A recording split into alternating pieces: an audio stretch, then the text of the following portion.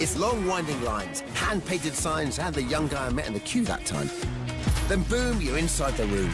Budding pop stars, indie lads with guitars, MC spitting bars, and some right hoo-has. Boot camp time, another mountain to climb. Sing and shout, let's hug it out. Well done you, tell mum you're through. All the six-chair hop, non-stop chop and swap, till a sudden mic drop. Then jet off somewhere cool with a pint-sized pool. The hellos and the whoas, and that moment he knows he's through to the live shows. It's near the crowd whoop and cheer. This is showbiz. Is it theirs, hers, or his? The winner of the X Factor is. Now it's cheering you're hearing, fans clapping, pap snapping, all over TV like a true VIP.